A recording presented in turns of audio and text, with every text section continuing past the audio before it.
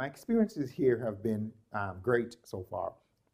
I've enjoyed working with the folks in the chemistry department.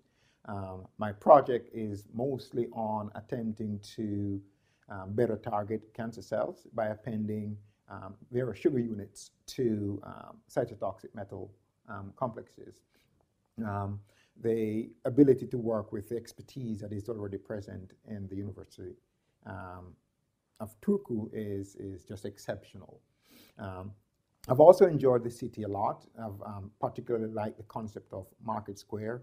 I think the, the idea of a central location for pretty much everything uh, makes the city a, a, a, really good drawing place for, for uh, visitors.